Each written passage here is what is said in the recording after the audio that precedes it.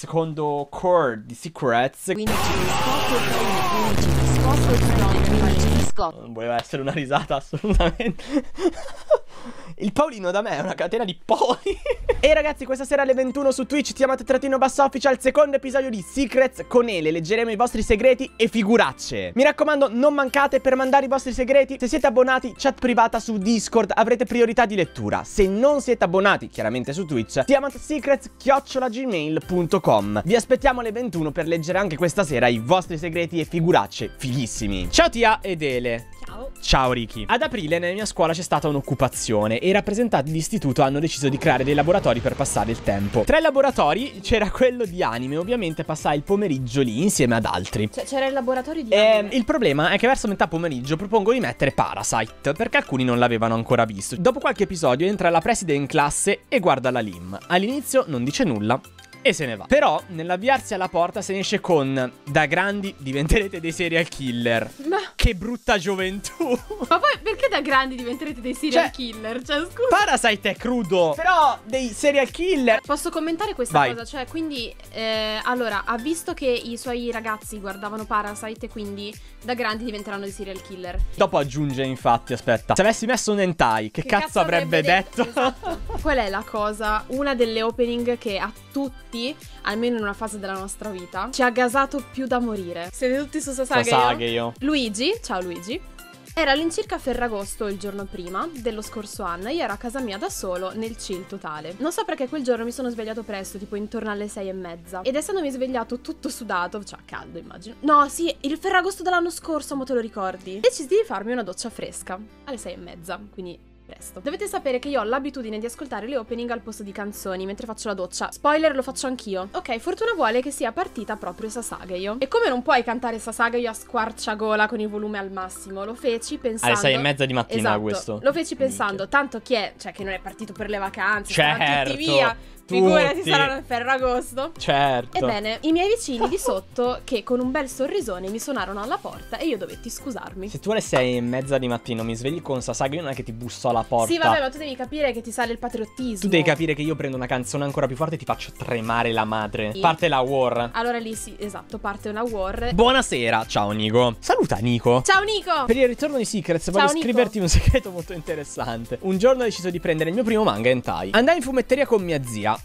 Andare con la zia a prendere l'hentai è particolare già di per sé comunque. E l'ho presi, togliendo la sovraccoperta per non farle vedere cosa avessi preso. La sovraccopertina me l'ero nascosta nello zaino. Quindi lui prende in fumetteria, esce, Aspetta, toglie ah, la sovraccoperta.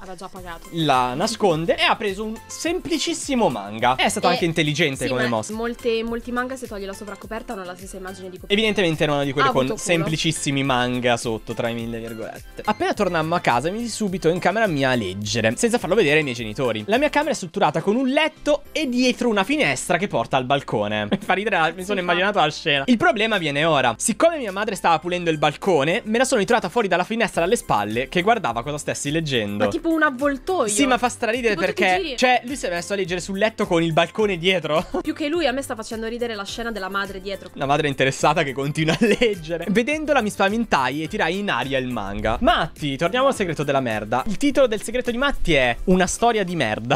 In che senso? Lo sai tutti. Ciao a te, sono Mati. Vi racconterò una storia leggendaria e indimenticabile, tratta da una storia vera. Però vi dico già che se state mangiando è meglio schipare questo secret. La vicenda si svolse un mercoledì a scuola in terza superiore. Avevamo appena finito l'ora di matematica e ci preparavamo per l'intervallo. Mentre stavamo mangiando, sentiamo: Cazzo, raga, devo fare una cagata pazzesca. Era un compagno di classe che chiameremo M. Era agitato perché ci Mattia? disse che se la stesse tenendosi.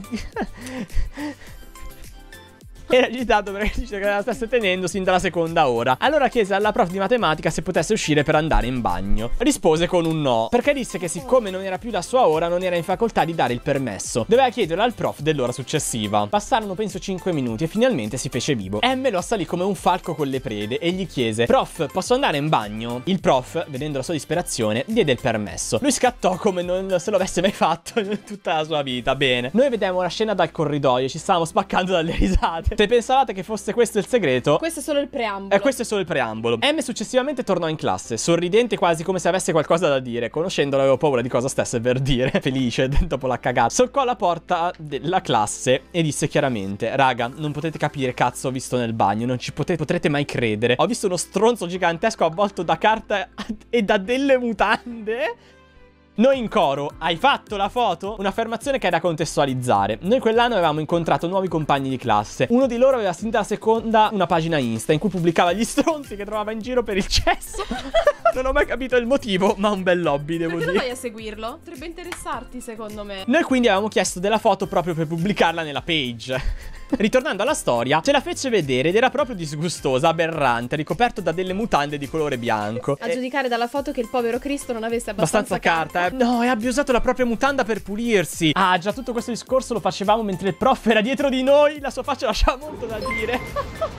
Ragazzi, non Gravier so arriva al momento giusto. Sì, eh, comunque è impossibile come Gravier mi raidi sempre nei momenti più di alta qualità della live in cui stiamo dicendo un segreto riguardante della merda a scuola. Cioè, prima stavamo parlando di cose Ehm, importanti, filosofia sì, sì, di vita, con te. No. Ale mi raida sempre in questo istante. Posso leggerla io la seconda parte? Vai. Stavamo facendo tutto questo discorso mentre il prof era dietro di noi. La sua faccia lasciava molto da dire. Penso che fosse schifato da tutto ciò e non ci considerava normali. Poca roba, poco importa. Il prof era uno di noi non avrebbe mai detto niente ai suoi colleghi. Però la storia della page non ebbe una good ending. Il prof era, Era uno, di noi. Uno di noi. Ok. Ora torniamo al punto in cui ci eravamo fermati. In tutto questo arrivò S. Sì. Il founder della page. ok. In classe gli dicemmo che M, sì, ok, che M eh, aveva trovato uno stronzo in bagno e aveva fatto la foto. Lui si strofinò le mani e disse: Bel materiale per tornare a postare. È marketing, ragazzi. La storia potrebbe essere finita qui, e invece. Ragazzi, eh, no. non finisce più. Non finirà mai. C'è anche una foto allegata Sì, sotto spoiler, ho con paura. scritto spoiler. Ci hai mandato la foto della merda, Matti. Ci hai mandato la foto della merda. No, no, non la voglio vedere.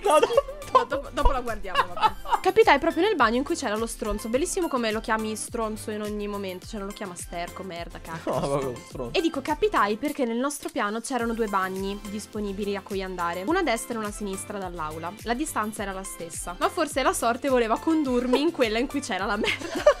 Arrivai ai bagni, aprì la porta e sentii fin da subito il fetore di merda salire. Man mano ti avvicinavi al bagno, l'odore si faceva più intenso. Mi incamminai e vidi il fatto incriminato. E ora direte: Ma come non ci dovrebbe essere la porta? Non c'era la porta? Vero, ma peccato che qualcuno l'aveva tolta e l'aveva messa sopra la struttura per far godere a tutti di quello spettacolo incredibile. Cercai di trattenermi e feci la pipì e uscì tornando in classe. La page alla fine, con il cambio della preside, a metà anno fu costretta a chiudere. No. Ma riuscimmo a patteggiare e arrivare semplicemente a metterla privata. Ma si è scoperto che lo snitch, anche se penso che sia semplicemente diffusa la voce in tutta la scuola fino a giungere ai professori. Non sapremo No. mai chi fu la persona che cag...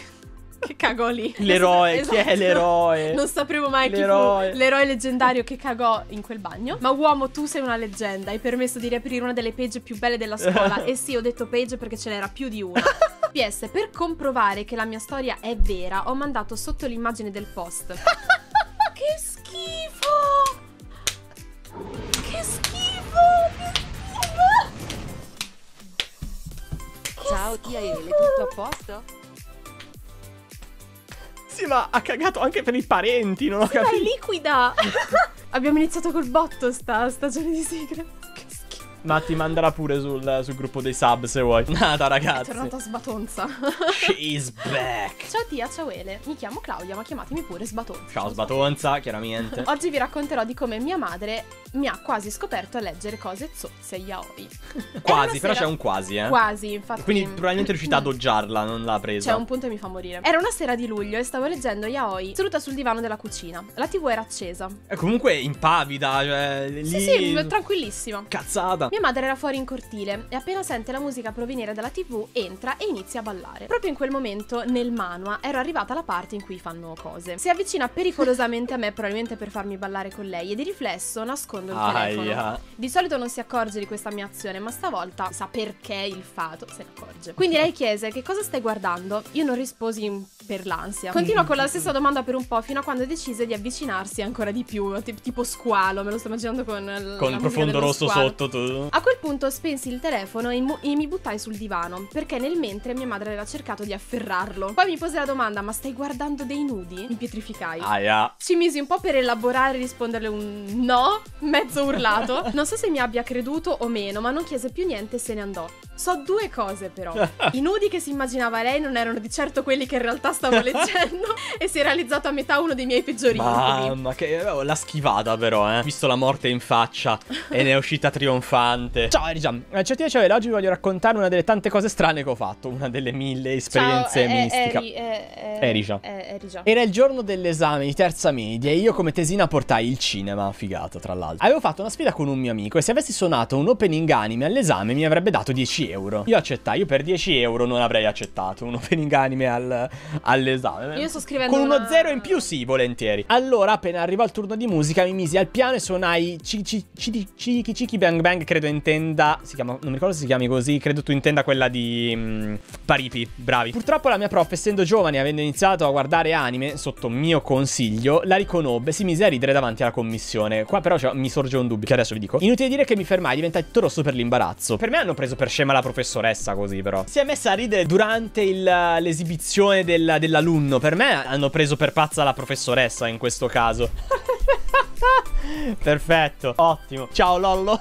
Il mio segreto è abbastanza imbarazzante, però mi sono fatto forza e ve lo voglio raccontare. Era una calda serata estiva in quel di Torre Canne, un paesino in provincia di Brindisi. In quel periodo, circa 5-6 anni fa, non ero ancora completamente preso dal mondo anime manga e l'opera che amavo all'epoca era Naruto. Ora, si dà il caso che io sia una persona particolarmente eccentrica, che nei momenti noiosi tendeva a fare cose particolarmente ambigue, del tipo, che ne so, parlare da solo o altro. Sì, sono una persona che vista da fuori è strana e lo capisco. Comunque, quella sera eravamo usciti a mangiare assieme ad alcuni amici pugliesi che a loro volta ne avevano invitati altri, tra cui alcuni belgi. Di questi amici belgi c'era un poliziotto con la moglie e un altro che era venuto con la moglie e le due figlie, che chiameremo Akeno e Rias. Perché sì, probabilmente non avevano visto un anime in vita loro. Entrambe più grandi di me, di tipo 3 anni. All'epoca avevo circa 17-18 anni. La serata procede senza problemi di sorta. Con me che mi destreggiavo con le due ragazze grazie alla mia, all'epoca, buona parlantina in francese. Si destreggiava, eh, lollo. La serata però era di per sé noiosa, quindi, aspettando che arrivassero le portate, mi metto, non chiedetemi perché, vi prego, a fare con le mani i segni per comporre le tecniche ninja. Ecco la parte brutta. Loro mi vedono, mi chiedono cosa sto facendo ed io, preso dal panico, mi invento una scusa. Ossia che lo facevo per rilassarmi. le tecniche ninja che tra l'altro sono tipo dei, dei mezzi spasmi fondamentalmente per rilassarsi è bellissimo, cazzo. Probabilmente non mi avranno creduto e mi avranno giustamente reputato un tipo strano. Però mi è sembrato che alla fine ci fossero cascate. Comunque la cena proseguì senza altri problemi. Né i miei né gli altri hanno visto il misfatto in questione. Tuttavia, al momento dei saluti, una di loro mi salutò e mi fece uno di quei gesti che avevo fatto prima. E niente, dentro di me ho un po' riso. Fermo, fermo, Lollo, l'hai conquistata. L'hai mai rivista? Le hai conquistate, però, eh? Buonasera, egregio Conte T e Contessa Ele. Sono Legemon. Oggi vi racconto non proprio un segreto, ma un'avventura per tutti comica, fatta eccezione per me. Insomma, iniziamo bene. Quest'anno, durante il primo compito di disegno tecnico, la LIM non funzionava e la professoressa, che avrò per tutti e cinque gli anni, mi manda alla LIM per vedere se per caso mh, riuscissi a risolvere codesto problema. Mentre ero sotto la cattedra a smanettare con i cavi, inizia a dettare il comando. L'ho detta la seconda e ultima volta mentre torno al posto, sconfitto, e quindi non riesco a seguire il testo e lei non lo voleva ripetere una terza volta, quindi eh, mi dà il testo e lo copio. Era una proiezione ortogonale con compenetrazione di un solido. Che Le cazzo doman- vuol dire? Vabbè, mi Non hai mai fatto disegno tecnico? Sì, ma me lo ricordo, secondo te c'avevo un professore figlio di una buona donna. E le domando se dovevo riportare le misure nel modo 1 o nel modo 2, evito di descriverveli. Lei mi risponde nel modo 1. Manca una mezz'oretta prima della consegna e sbircio nel disegno del mio compagno, che vedo che l'ho fatto nel modo 2. Chiedo alla professoressa se avevo sbagliato e soprattutto se dovevo ripartire da zero. Lei dice che non sarei dovuto ripartire da zero perché comunque il disegno era ben fatto e che nonostante quell'errore avrei avuto la sufficienza. Il disegno era ben fatto e nonostante quell'errore avrei avuto la sufficienza. 4. Finisco quindi il disegno e consegno. Mette su registro i voti e mi chiamano incazzatissimi i miei chiedendomi il perché del 5 meno. Ottimo. Io mi difendo- Sufficienza. Sufficienza.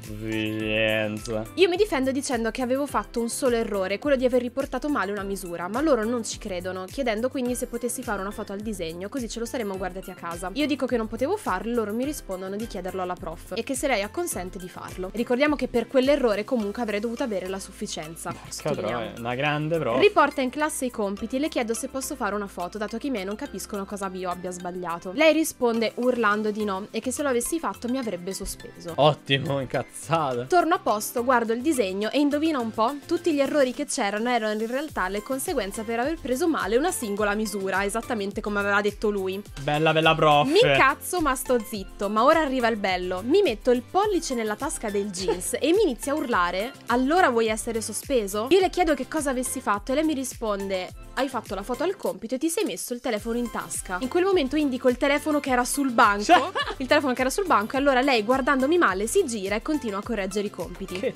E questa è stata la volta in cui stavo per essere sospeso perché mi sono messo una mano in tasca. Che era quella di prima.